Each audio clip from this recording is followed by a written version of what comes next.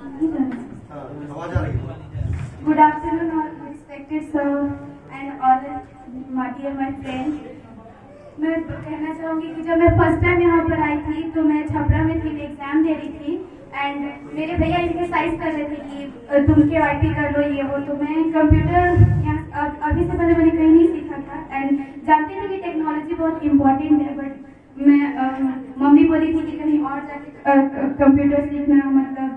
जाके ऐसा। तो मैं कही थी कि एक परसा मतलब गाँव में है और वहाँ पे दिल्ली से ज़्यादा प्रिविलेज नहीं मिलेगा और उतना मैं नहीं सीख पाऊँगी जितना मैं दिल्ली सीखूँगी। लेकिन मैं आज सोचती हूँ, जितना मैंने सीखा है, जितना समझा है बाडी लैंग्वेज एंड ऑल कि वो दिल्ली से ज़्यादा अच्छा यहाँ पे सिखाया गया था। ऐसा दिल्ली में भी नहीं मिलता मुझे। एंड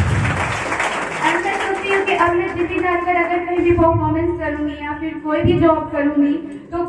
ऐसा मैं कहूँगी कि मैंने गाँव से सीख के आया है ये सारी चीज़ तो कोई बिलीव नहीं करेगा कि मैं गाँव से सीख के आई हूँ। और मैं कहना चाहूँगी कि गाँव में